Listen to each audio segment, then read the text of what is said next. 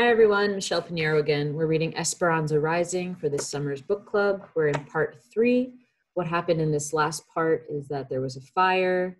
They've decided to escape and they took a hidden wagon and a train. So, so far that's what's going on and they're on their way to the United States. So let's see what happens if we keep reading. Los melones, cantaloupes. They reached the border at Mexicali in the morning. Finally, the train stopped moving and everyone disembarked. The land was dry and the panorama was barren except for date palms, cactus, and an occasional squirrel or roadrunner. The conductors herded everyone into a building where they stood in long lines waiting to pass through immigration. Esperanza noticed that the people in the first cars were escorted to the shortest line and passed through quickly. Inside, the air was stagnant and thick with the smell of body odor. Esperanza and Mama, their faces shiny with grime and perspiration, looked tired and wilted as they slumped with even the slight weight of their valises. The closer Esperanza got to the front, the more nervous she became. She looked at her papers and hoped they were in order. What if the officials found something wrong? Would they send her back to her uncle's? Would they arrest her and put her in jail? She reached the desk and handed over the documents. The immigration official seemed angry for no reason. Where are you coming from? She looked at Mama, who was behind her. We are from Aguascalientes, said Mama, stepping forward. And what is your purpose for entering the United States? Esperanza was afraid to speak. What if she said the wrong thing? To work, said Mama, handing him her documents as well. What work? demanded the man. Mama's demeanor changed. She stood up straight and tall and deliberately blotted her face with a handkerchief. She looked directly into the official's eyes and spoke calmly as if she were giving simple directions to a servant. I am sure you can see that everything is in order. The name of the employer is written there. People are expecting us. The man studied Mama. He looked at their faces, then the pages, then their faces again. Standing tall and proud, Mama never took her eyes from his face. Why was it taking so long? Finally, he grabbed the stamp and pounded each page with the words Mexican National. He shoved their papers at them and waved them through. Mama took Esperanza's hand and hurried her toward another train. They boarded and waited an hour for all the passengers to get through immigration. Esperanza looked out the window. Across the track, several groups of people were being prodded onto another train, headed back toward Mexico. My heart aches for the, those people. They came all this way just to be sent back, said Mama. But why? said Esperanza. Many reasons. They had no papers, false ones, or no proof of work. Or there might have been a problem with just one member of the family, so they all chose to go back instead of being separated. Esperanza thought about being separated from Mama and gratefully took her hand and squeezed it. Almost everyone had boarded except Alfonso, Hortensia, and Miguel. Esperanza kept looking for them, and she became more anxious with each passing minute. Mama, where are they? Mama said nothing, but Esperanza could see worry in her eyes too. Finally, Hortensia got on. The train's engines began to chug. Her voice tense, Esperanza said, What happened to Alfonso and Miguel? Hortensia pointed out the window. They had to find some water. Alfonso was running toward the train with Miguel close behind, waving the secret package and grinning. The train slowly started moving as they hopped on. Esperanza wanted to be angry at them for making her anxious. She wanted to yell at them for waiting until the very last minute just so they could find water for their package that was probably nonsense anyway.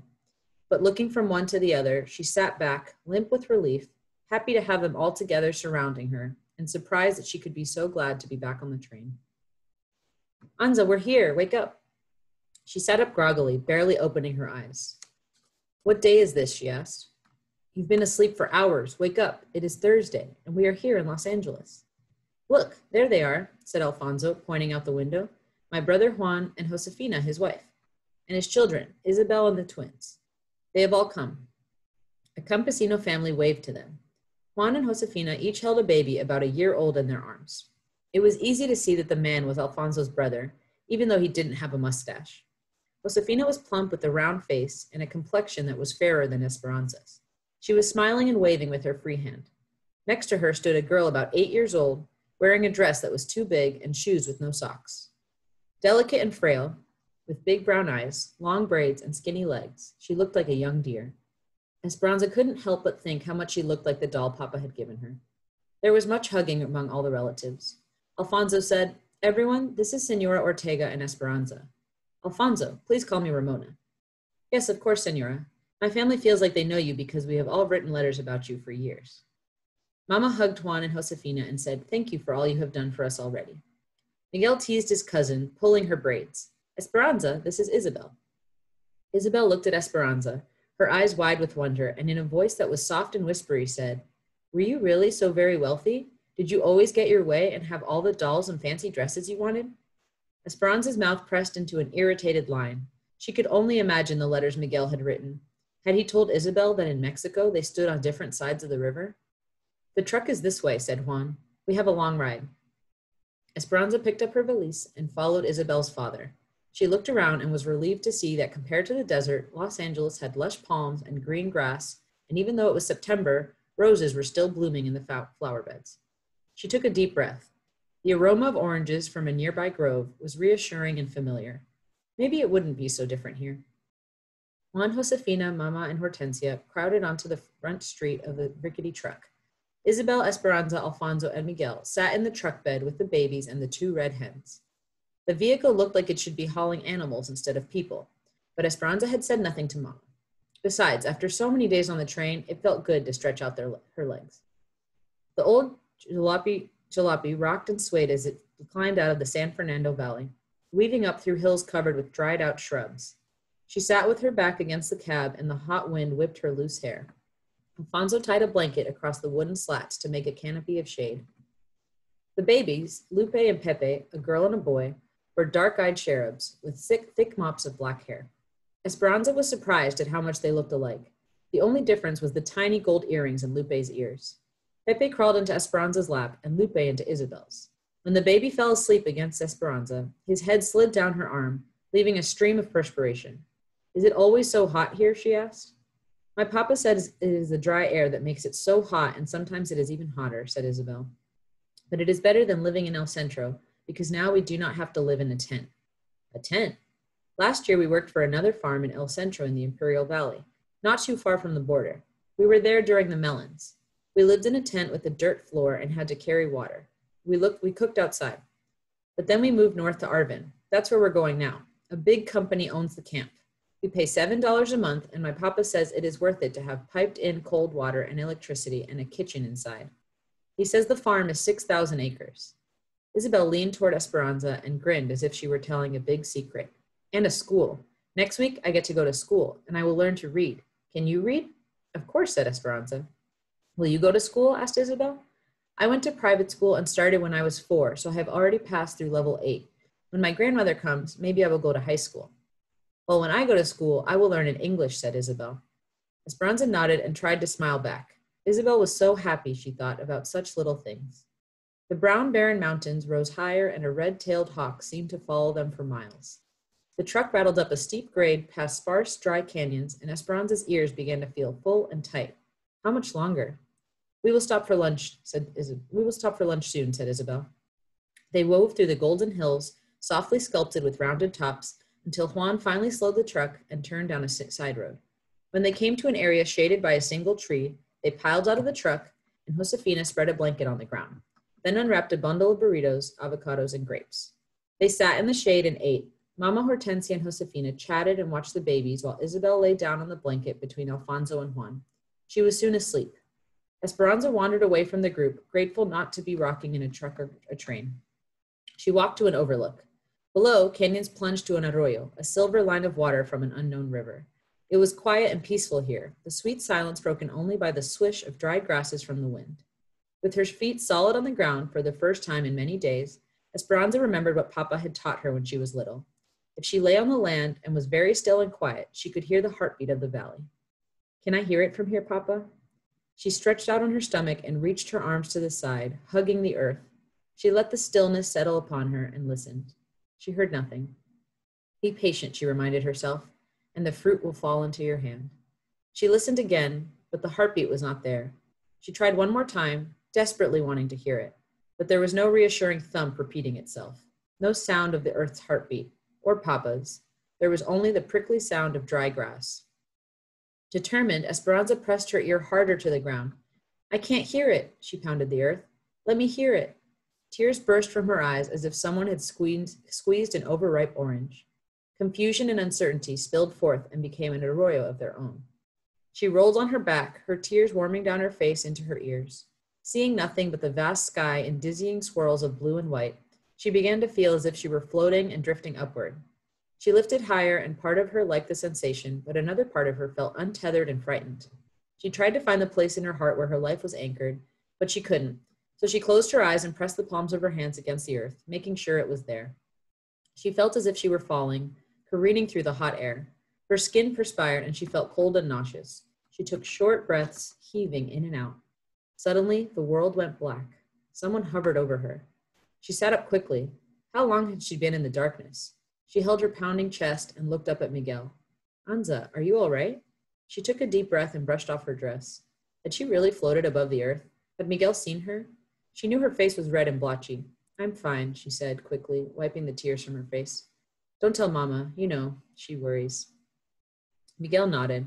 He sat down close to her. Without asking any questions, he took her hand and stayed with her, the quiet interrupted only by her occasional staccato breaths. I miss him too, Miguel whispered, squeezing her hand. I miss the ranch in Mexico and Abuelita, everything. And I am sorry about what Isabel said to you. I meant nothing by it. She stared at the dark brown and purple ridges staggered in the distance and let the ripe tears cascade down her cheeks. And this time, Esperanza did not let go of Miguel's hand. They were heading down a steep grade on Highway 99 when Isabel said, Look. Esperanza leaned around the side of the truck. As they rounded a curve, it appeared as if the mountains pulled away from each other, like a curtain opening on a stage, revealing the San Joaquin Valley below. Beyond. Flat and spacious, it spread out like a blanket of patchwork fields. Esperanza could see no end to the plots of yellow, brown, and shades of green. The road finally leveled out on the valley floor, and she gazed back at the mountains from where they'd come. They looked like monstrous lions' paws resting at the edge of the ridge. A big truck blew its horn, and Juan pulled over to let it pass, its bed bulging with cantaloupes. Another truck and another did the same. A caravan of trucks passed them, all piled high with the round melons. On one side of the highway, acres of grapevine stretched out in soldiered rows and swallowed up the arbors. On the other side, fields and fields of dark green cotton plants became a sea of milk white puffs. This was not a gently rolling landscape like, like Aguas Calientes. For as far as the eye could travel, the land was unbroken by even a hillock. Esperanza felt dizzy looking at the repeated straight rows of grapes and had to turn her head away. They finally turned east off the main highway. The truck went slower now, and Esperanza could see workers in the fields. People waved, and Juan honked the truck horn in return. Then he pulled the truck to the side of the road and pointed to a field that had been cleared of its harvest. Dried rambling vines covered the acre, and leftover melons dotted the ground. The field markers are down. We can take as many as we can carry, he called back to them. Alfonso jumped out, tossed a dozen cantaloupes to Miguel, then stepped up on the running board and slapped the top of the truck for Juan to start again. The melons, warmed by the valley sun, rolled and somersaulted with each bump of the truck. Two girls walking along the road waved, and Juan stopped again.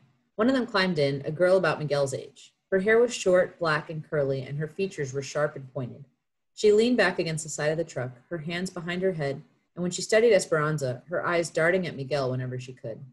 This is Marta, said Isabel. She lives at another camp where they pick cotton, but it is owned by a different company. Her aunt and uncle live at our camp, so she stays with them sometimes. Where are you from? asked Marta. Aguas Calientes, El Rancho de las Rosas, said Esperanza. I have never heard of El Rancho de las Rosas. Is that a town? It was the ranch they lived on, said Isabel proudly, her eyes round and shining. Esperanza's father owned it and thousands of acres of land. She had lots of servants and beautiful dresses, and she went to private school too. Miguel is my cousin, and he and his parents worked for them. So you're a princess who's come to be a peasant? Where's all your finery? Esperanza stared at her and said nothing. What's the matter? Silver spoon stuck in your mouth? Her voice was smart and biting. A fire destroyed everything. She and her mother have come to work like the rest of us, said Miguel. Confused, Isabel added, Esperanza's nice. Her papa died. Well, my father died too, said Marta. Before he came to this country, he fought in the Mexican Revolution against people like her father who owned all the land. Esperanza stared back at Marta, unblinking. What had she done to deserve this girl's insults? Through gritted teeth, she said, You know nothing of my papa. He was a good, kind man who gave much of his property to his servants.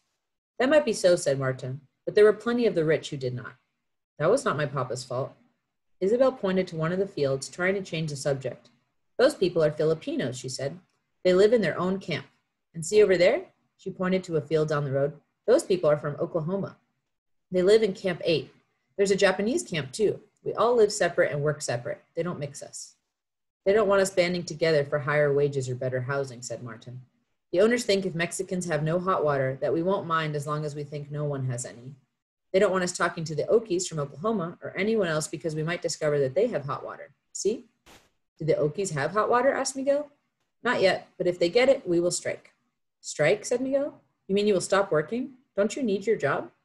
Of course I need my job, but if all the workers join together and refuse to work, we might all get better conditions. Are the conditions so bad? asked Miguel. Some are decent. The place you are going to is one of the better ones. They even have fiestas. There's a Jamaica this Saturday night. Isabel turned to Esperanza. You will love the Jamaicas. We have them every Saturday night during the summer. There is music and food and dancing. This Saturday is the last for this year because soon it will be too cold.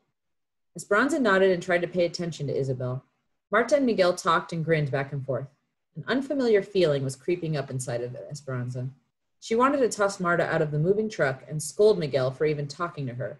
Hadn't he seen her rudeness? She brooded as they rode past miles of young tamarisk trees that seemed to be the border of someone's property. Beyond those trees is the Mexican camp, said Isabel, where we live. Marta smirked at Esperanza and said, Just so you know, this isn't Mexico. No one will be waiting on you here. Then she gave her a phony smile and said, Entiendes? Understand? Esperanza stared back at her in silence. The one thing she did understand was that she did not like Marta. Las cebollas, onions. We're here, said Isabel, as the truck turned into camp and slowed to a crawl. Esperanza stood up and looked over the cabin. They were in a large clearing, surrounded by grape fields. Row upon row of white wooden cabins formed long lines connected like bunkhouses. Each cabin had one small window and two wooden steps that led to the door. She couldn't help but think that they weren't even as nice as the servants' cabins in Aguascalientes. They reminded Esperanza more of the horse stalls on the ranch than of a place for people to live. A big mountain loomed in the east, framing one side of the valley. Marta jumped out and ran towards some girls standing together near the cabins. Esperanza could hear them talking in English, the words hard and clipped as if they were speaking with sticks in their mouths. They all looked at her and laughed. She turned away, thinking that if Isabel could learn English, then maybe someday she could learn it too. A line of flatbed trucks pulled into a clearing, and campesinos hopped down, home from the fields. People called to one another. Children ran to the, their fathers, yelling, Papi, papi! Esperanza felt a deep pang. She watched and wondered how she would fit into this world. Isabel pointed to a wooden building off to the side. That's where they have all the toilets. Esperanza cringed as she tried to imagine having no privacy. We're lucky, said Isabel solemnly. In some camps, we had to go in ditches. Esperanza looked down at her, swallowed, and nodded, suddenly thankful for something. Foreman came over and shook hands with Juan and Alfonso and pointed to the cabin in front of the truck. The woman got out, took the babies, and helped Miguel with the bags. Mama and Esperanza walked into the cabin. It had two small rooms. One half of the front room was the kitchen with a stove, sink, and counter, and a table and chairs. A pile of wood waited near the stove. Across the room was a mattress on the floor. The back room had another mattress big enough for two people and a tiny cot. In between sat a wooden fruit crate, to be used as a night table, its sides touching each bed. Above was another small window. Mama looked around and then gave Esperanza a weak smile. Is this our cabin or Hortense's and Alfonso's? asked Esperanza, hoping that hers and Mama's might be better. We are all together in this cabin, said Mama. Mama, we can't possibly all fit. Esperanza, they will only give one cabin for each man with a family. There is no housing for single women. This is a family camp, so we must have a male head of household to live and work here, and that is Alfonso. Mama sank to the bed. Her voice sounded tired. He has told them we are his cousin, and if anyone asks us, we must say it's true. Otherwise, we cannot stay. We are next door to Juan and Josefina, so we can adjust the sleeping arrangements. Miguel will sleep next door with them and the babies, and Isabel will sleep here with Alfonso, Hortensia, and us. Miguel came in and set down their valises, then left. Esperanza could hear Alfonso and Hortensia in the next room talking about the camp office. Mama got up to unpack and began to sing. Esperanza felt anger crawling up her throat. Mama, we are living like horses. How can you sing? How can you be happy? We don't even have a room to call our own. The talking suddenly stopped in the other room. Mama gave Esperanza a long, hard look. She calmly walked over and shut the door to the small room. Sit down, she said. Esperanza sat on the tiny cot, its springs screeching. Mama sat on the bed opposite her, their knees almost touching. Esperanza, if we had stayed in Mexico and I had married Tío Luis, we would have had one choice to be apart and miserable. Here, we have two choices to be together and miserable or to be together and happy. Mija, we have each other and Abuelita will come. How would she want you to behave? I choose to be happy. So which will you choose? She knew that what Mama wanted to hear. Happy, she said quietly. Do you know how lucky we are, Esperanza? Many people come to this valley and wait months for a job. Juan went to a lot of trouble to make sure we had this cabin waiting for us when we got here. Please be grateful for the favors bestowed upon us. Mama bent over and kissed her, then left the room. Esperanza lay down on the cot. A few minutes later, Isabel came in and sat on the bed. Will you tell me what it was like to be so very rich? She looked at Isabel, her eyes anticipating some wonderful story. Esperanza was quiet for a moment, clinging to one possible thought. Then she said, I am still rich, Isabel. We will only be here until Abuelita is well enough to travel. Then she will come with her money and we will buy a big house, a house that Papa would have been proud for us to live in. Maybe we will buy two houses so that Hortensia, Alfonso, and Miguel can live in one and work for us again. And you can visit us, Isabel. You see, this is only temporary. We will not be here for long. De veras? asked Isabel. Yes, it is the truth, said Esperanza, staring at the ceiling that someone had covered with newspaper and cardboard. My papa would never have wanted us to live in a place like this. She closed her eyes and heard Isabel tiptoe out of the room and shut the door. The weariness from the days of travel flooded over her, and her mind wandered from people peeing in ditches to Marta's, Marta's rudeness to the horse stalls at El Rancho de las Rosas. How could she be happy or grateful when she had never been more miserable in her life? When Esperanza opened her eyes again, it was almost light, and she heard Mama, Hortensia, and Alfonso talking in the next room. She had slept through dinner and the entire night. She smelled cafe and chorizo. The coffee and sausage made her stomach growl, and she tried to remember when she had last eaten. Isabel was still asleep in the bed next to hers, so Esperanza quietly pulled on a long, wrinkled skirt and white blouse. She pulled, she brushed her hair and went into the other room. Good morning, said Mama. Sit down and eat something. You must be starved. At the table, Hortensia patted her hand. You missed going to the foreman's office last night. We signed the papers to live here. We already have work today. Mama put a plate of tortillas, eggs, and sausage in front of her. Where did all the food come from? asked Esperanza. Josefina, said Hortensia. She brought some groceries until we can go to the store this weekend. Esperanza, said Mama, you and Isabel will be watching the babies while the rest of us work. Alfonso and I, Alfonso and Juan will be picking grapes, and Hortensia, Josefina, and I will be packing grapes in the sheds. But I want to work with you and Hortensia and Josefina. You're not old enough to work in the sheds, said Mama. And Isabel is not old enough to watch the babies by herself. If you watch the babies, then Josefina can work, and that is one more paying job between us. We must all do our part. You will have a camp job too, sweeping the wooden platform every afternoon, for which they will deduct a little from our rent each month. Isabel can show you what to do later. What's the platform? Esperanza asked. It's the big wooden floor outside, in the middle of the camp. Juan said they use it for meetings and dances, said Mama. Esperanza stared at her food. She did not want to be stuck in camp with the children. Where's Miguel? she said. He already left for Bakersfield with some other men to look for work at the railroad, said Alfonso. Isabel came out of the bedroom, rubbing her eyes. Mi sobrina, my niece, said Hortensia, hugging Isabel. Go say good morning to your mother and father before we all leave for work. Isabel hugged her and ran next door. Esperanza studied Mama as she made un burrito de frijoles for lunch and wrapped the soft tortilla filled with pinto beans in paper. She looked different. Was it the long cotton dress and the big flowered apron tied at her waist? No, it was more than that. Mama, said Esperanza, your hair. Mama's hair ran down her back in a single long braid, almost touching her waist. Esperanza had never seen Mama wear her hair that way. It was always done up in her beautiful plaited bun, or when she was ready for bed, brushed out and flowing. Mama looked shorter and somehow not herself. Esperanza didn't like it. Mama reached up and stroked the back of her head. She seemed embarrassed. I, I figured out that I can't wear a hat with my hair on top of my head. And this makes more sense, does it not? After all, I'm going to work today, not to a fiesta. Then she hugged Esperanza. We must go now. The trucks leave at 6.30 to take us to the sheds. Take good care of the babies and stay with Isabel. She knows the camp. As the three of them walked out, Esperanza noticed Mama reaching up, hesitantly touching her hair again. When Esperanza finished eating, she went outside and stood on the front step. Instead of facing another row of cabins, their cabin was in the last row facing the fields. Straight ahead, across a dirt road, were several chinaberry trees and a mulberry tree that provided deep shade over a wooden table. Beyond the row of trees were grape fields, still lush. To the right, across a grassy field, was the main road. A truck piled high with produce drove by, losing a cloud of debris. After it passed, the sharp smell told her they were onions, the dry outer skins being shredded by the wind. Another truck followed. Again, the smell bit into her senses. It was still early, so the air was cool, but the sun was bright and she knew it would be hot soon. The hens pecked and poked around the front steps. They must have been happy to be off the train. Esperanza shooed them out of her way as she turned and walked next door. The babies were still in their pajamas. Isabel was struggling to feed Lupe her oatmeal while Pepe crawled on the floor.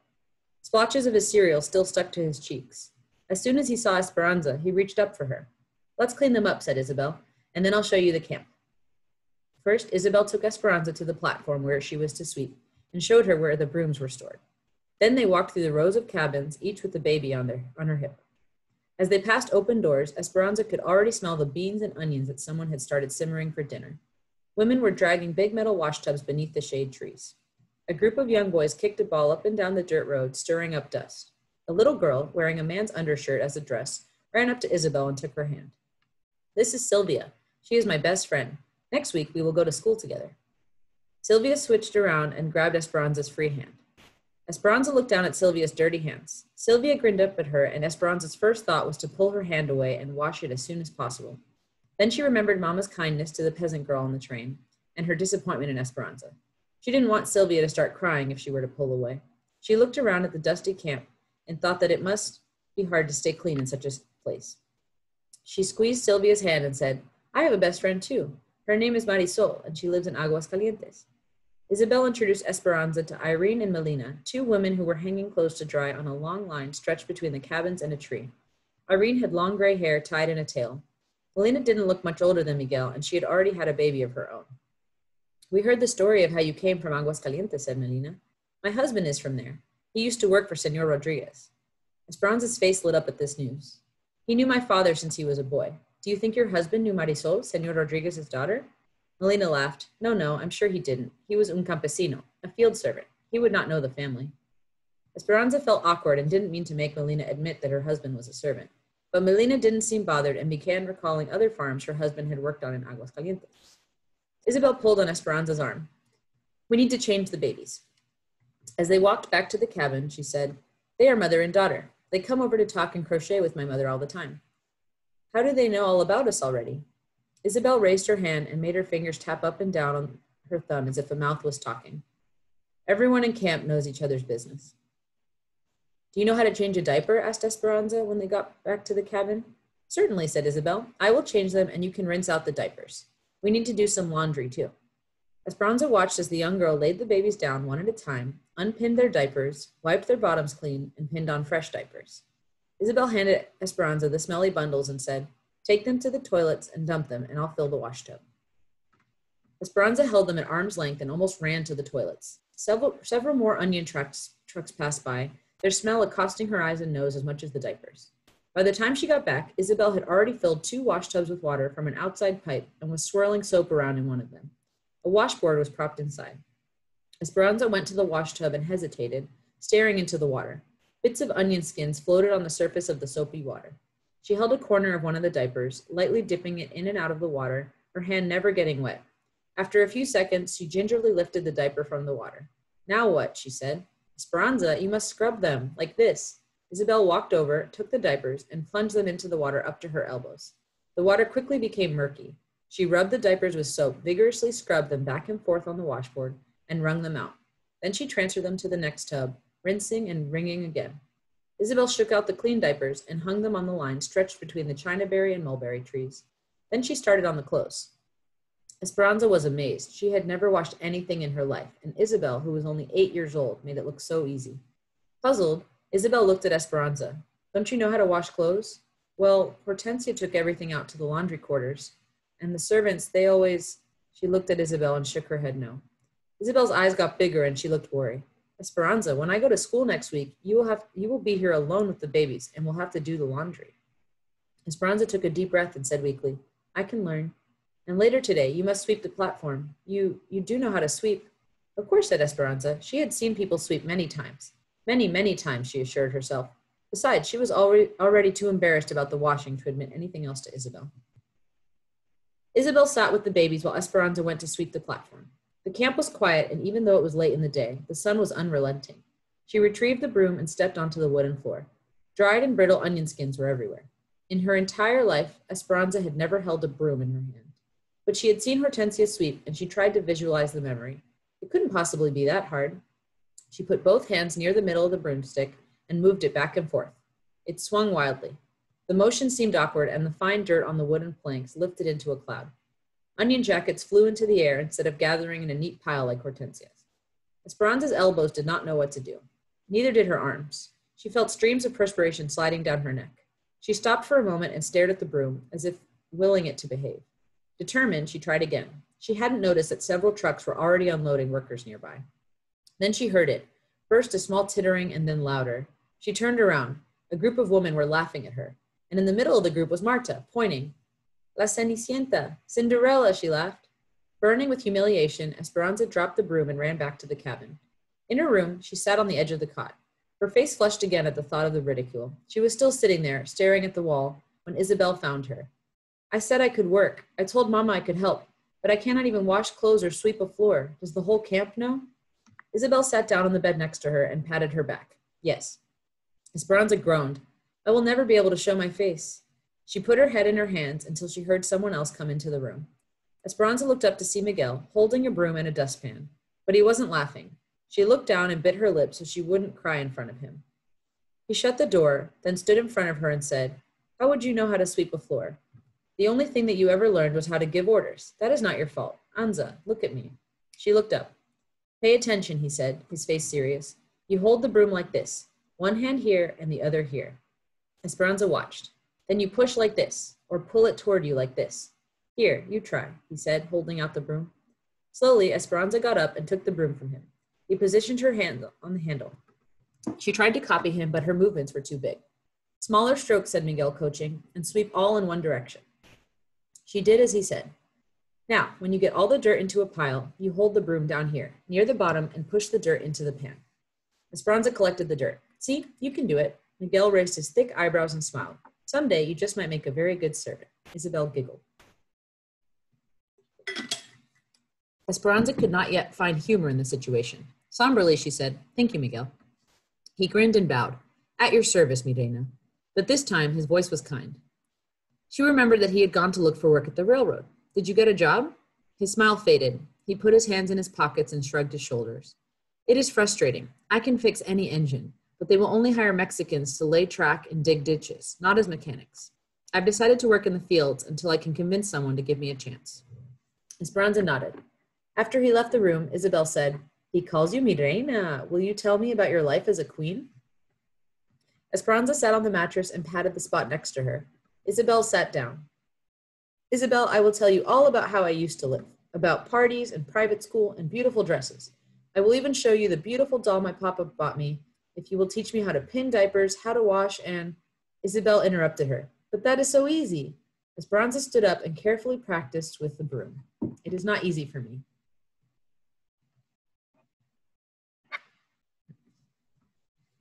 Las almendras, almonds. Ay, my neck hurts, said Mamma as she massaged the back of her head with her hand. It is not my neck, it's my arms that are sore, said Hortensia.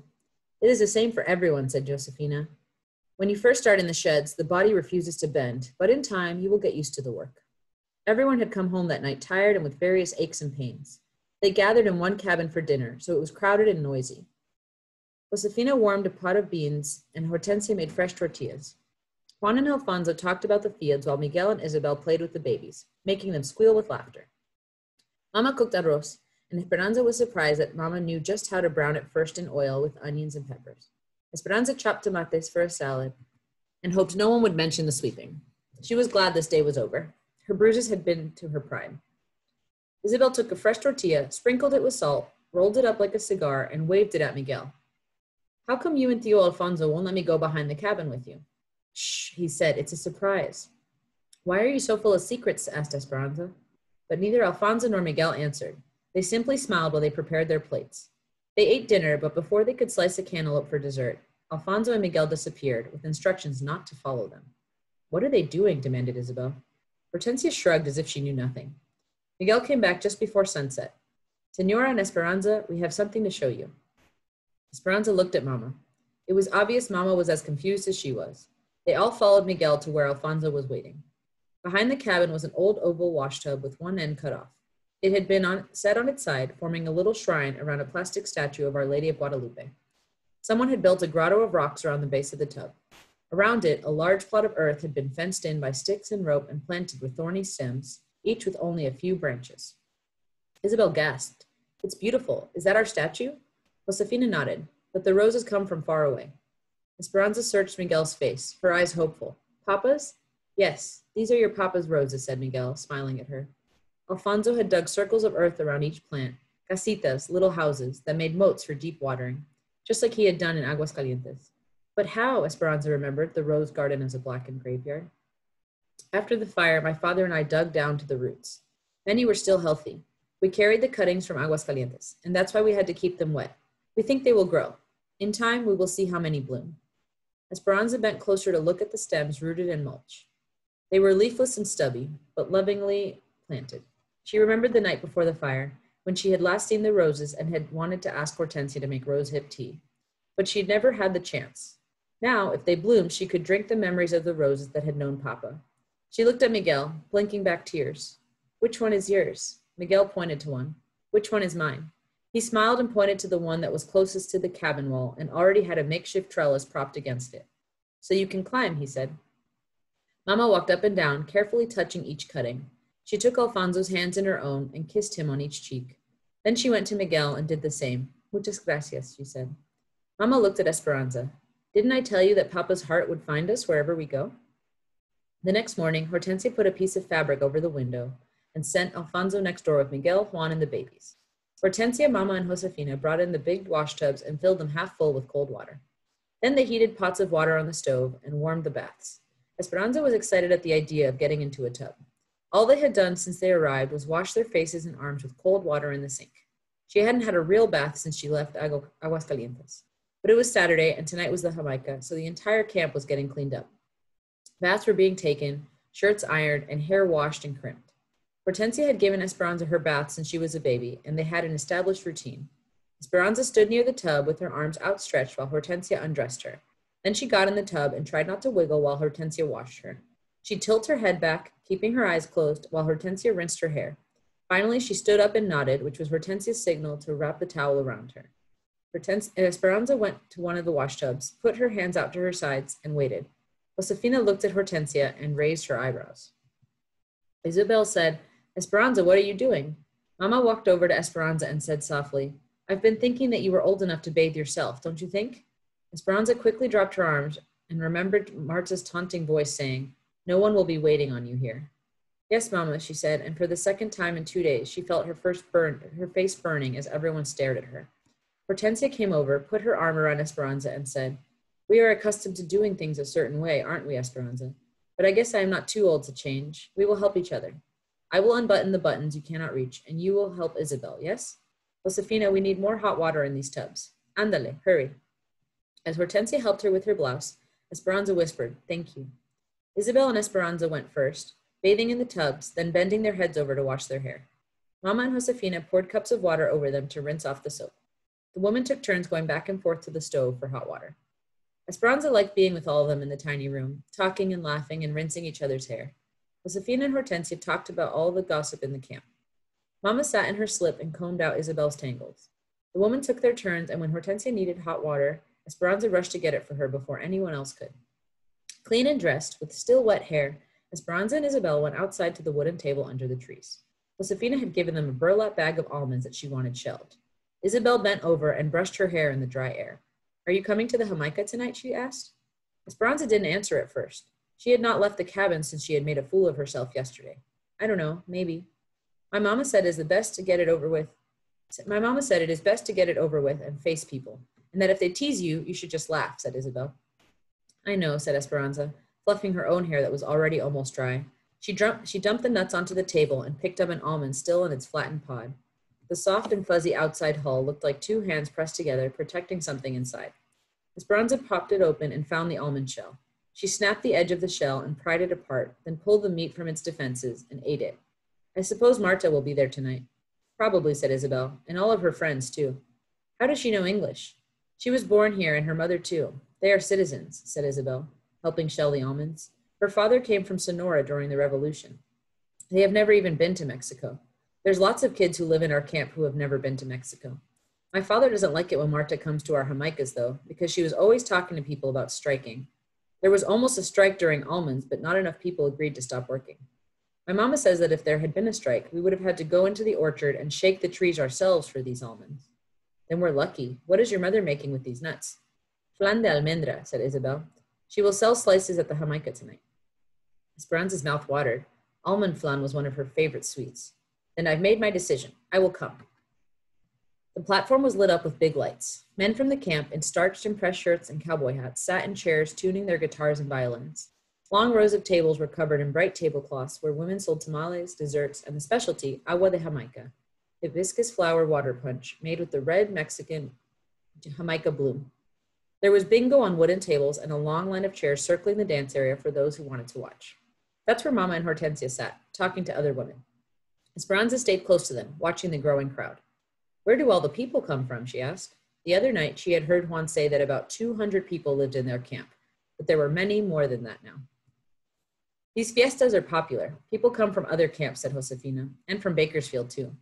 When the music started, everyone started crowding, started, everyone crowded around the platform, clapping and singing. People started dancing in the area around the stage. Children ran everywhere, chasing and hiding. Men held young boys on their shoulders, and women swaddled their infants, all of them swaying to the sounds of the small band. After a while, Esperanza left Mama and the others and wandered through the noisy crowd, thinking how strange it was that she could be in the middle of so many people and still feel so alone. She saw a group of girls who seemed about her age, but they were huddled together. More than anything, she wished Marisol were here. Isabel found her and pulled on her hand. Esperanza, come and see. Esperanza let herself be led through the crowd. Someone from town had brought a litter of kittens. A group of girls were crowded next to the cardboard box, cooing and cradling them. It was clear that Isabel desperately wanted one. Esperanza whispered to her, I will go ask your mother. She woke back through the crowd to find Josefina, and when she agreed, Esperanza practically ran back to the spot to tell Isabel. But when she got there, a bigger crowd had gathered and something else was going on. Marta and some of her friends stood in the bed of a truck that was parked nearby, each of them holding up one of the tiny kittens. This is what we are, she yelled small, meek animals. And that is how they treat us because we don't speak up. If we don't ask for what is rightfully ours, we will never get it. Is this how we want to live? She held the kitten by the back of the neck, waving it high in the air. It hung limp in front of the crowd. With no decent home and at the mercy of those bigger than us, richer than us? Isabel trembled, her eyes in a panic. Will she drop it? A man called out, Maybe all that cat, cat wants to do is feed its family. Maybe it doesn't care what all the other cats are doing. Senor, does it not bother you that some of your compadres live better than others? yelled one of Marta's friends. We are going to strike in two weeks, at the peak of the cotton, for higher wages and better housing. We don't pick cotton on this farm, yelled another man from their camp. What does it matter, yelled Marta. If we all stop working, if all the Mexicans are juntos, together, she made a fist and held it in the air, then maybe it will help us all. He yelled back, That is a chance we cannot take. We just want to work. That's why we came here. Get out of our camp. A cheer rose up around him. People started shoving, and Esperanza grabbed Isabel's hand and pulled her aside. A young man jumped into the truck and started the engine. Marta and the others tossed the kittens into the field. Then they pulled some of their supporters into the back of the truck with them and raised their arms, chanting, Huelga, huelga, strike, strike. Why is she so angry? asked Esperanza as she walked back to the cabin a few hours later with Josefina, Isabel, and the babies, leaving the others to stay later. Isabel carried the soft, mewing orange kitten in her arms. She and her mother move around to find work, sometimes all over the state, said Josefina. They work wherever there is something to be harvested. Those camps, the migrant camps, are the worst. Like when we were in El Centro, said Isabel. Worse, said Josefina. Our camp is a company camp, and people who work here don't leave. Some live here for many years. That is why we came to this country, to work, to take care of our families, to become citizens. We are lucky because our camp is better than most. There are many of us who don't want to get involved in the strike because we can't afford to lose our jobs, and we are accustomed to how things are in our little community. They want to strike for better houses? asked Esperanza. That and more money for those who pick cotton, said Josefina. They only get seven cents a pound for picking cotton. They want 10 cents a pound. It seems like such a small price to pay, but in the past, the growers said no. And now, more people are coming to the valley to look for work, especially from places like Oklahoma, where there is little work, little rain, and little hope. If the Mexicans strike, the big farms will simply hire others. Then what would we do? Esperanza wondered what would happen if Mama did not have a job. Would they have to go back to Mexico? Josefina put the babies to bed. Then she kissed Isabel and Esperanza on their foreheads and sent them next door. Isabel and Esperanza lay in their beds listening to the music and the burst of laughter in the background. The kitten, after drinking a bowl of milk, curled up in Isabel's arms. Esperanza tried to imagine conditions that were more shabby than this room that was covered in newspaper to keep out the wind. Could things possibly be worse? Sleepily, Isabel said, Did you have parties in Mexico? Yes, whispered Esperanza, keeping her promise to tell Isabel about her old life. Big parties. Once my mama hosted a party for 100 people. The table was set with lace tablecloths, crystal and china, and silver candelabras. The servants cooked for a week, Esperanza continued, reliving the extravagant moments, but was relieved when she knew that Isabel was asleep. For some reason, after hearing about Marta and her family, she felt guilty talking about the richness of her life in Aguascalientes. Esperanza was still awake when Mama came to bed later. A stream of light from the other room allowed just enough brightness for her to watch Mama unbraid her hair and brush it out. Did you like the party? Mama whispered. I miss my friends, said Esperanza. I know it is hard. Do you know what I miss? I miss my dresses. Mama, Esperanza said, laughing that Mama would admit such a thing to her. Shh, said Mama, you will wake Isabel. I miss my dresses too, but we don't seem to need them here. That is true. Esperanza, do you know that I am so proud of you for all that you are learning? Esperanza snuggled close to her. Mama continued, Tomorrow we are going to a church in Bakersfield. After church, we are going to una tienda called Cholitas.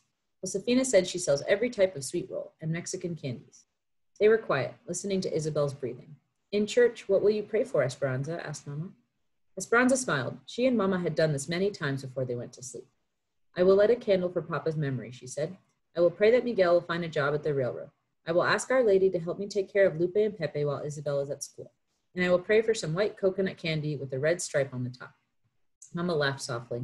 But most of all, I will pray that Abuelita will get well, and that she will be able to get her money from Tío Luis's bank, and that she will come soon. Mama stroked Esperanza's hair. What will you pray for, Mama? I will pray for all the things you said, Esperanza, and one more thing besides. What's that? Mama hugged her. I will pray for you, Esperanza, that you can be strong, no matter what happens.